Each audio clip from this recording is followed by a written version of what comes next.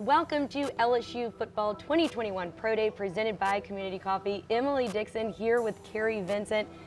Now, Kary, we're going to start with the biggest event of the day, obviously. The 40 yard dash is a big event for a lot of prospects. I'm sure you had a number circled, but your first run's a 4.38, and then you get a 4.33 on your second run, the fastest of the day. What's the feeling now that you've gotten everything out of the way? Um, it's definitely a relief, you know. Um, unfortunately, I didn't, you know, had the opportunity to play this year, uh, opting out, but um, to be able to come back and compete with these guys, run a 40, the highlight of my day being the fastest 40, um, it was definitely fun. I enjoyed it, and uh, hope, hope I'm, I'm, hoping that that set me up for, for the next level. I think it did. I, I, think that you're pretty good with that one. But you played a lot of football at LSU. You're national. You won a national championship, like you just said. You spent the last year training for the draft. So what areas do you feel like you grew your game that you really wanted to show all of the NFL personnel today? Um, it's obvious. I mean, if you play in the SEC, especially playing here at LSU, it's obvious that you have all the physical attributes. So I took away from that, and I really wanted to work on my mental, my inner self, and, and uh, I feel like the mental aspect is, is, just as big as the physical aspect. So I've just been working on my thinking process, my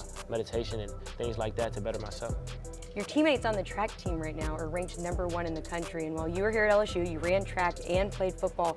So how did doing both of those help you prepare for this next level going into the draft? Um, it, it, kept me in shape first off. Uh, so I never, I mean, none of us do, but I definitely never had any time off. As soon as the season was over, I was right in the track season. And um, like I said, you on both sides, I'm with the best of the best. Right now, those guys are number one in the country. Um, you got guys with world lead times.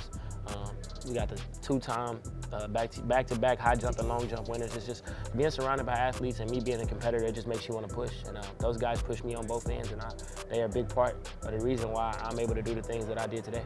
Especially after taking the year off from football, and we had talked about before how this is the first year in forever that you haven't played football, but being able to come back here today after so long, how did it feel just being around your former teammates and LSU staff and personnel and kind of coming back home? It's, it's definitely, it's simply that, coming back home. You know, everybody embraces you with open arms and smiles.